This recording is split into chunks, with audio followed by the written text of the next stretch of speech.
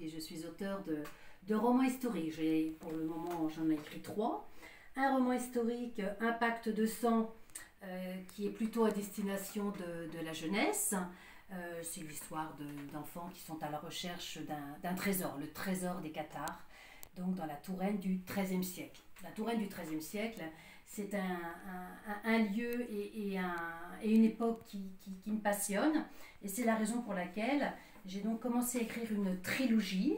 Donc le premier de cette trilogie, c'est La Ligérienne Pérégrination. Le second, c'est La Ligérienne Les Béguines du Roi. Et je suis en train d'écrire le troisième et dernier tome de la série.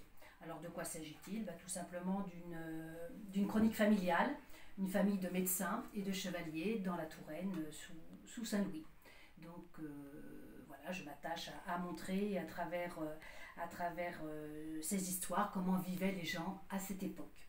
Donc je serais ravie de vous rencontrer les 1er et 2 juin 2024 au Salon de Mareuil où j'aurai l'occasion de vous les montrer et de vous parler de, de mon univers.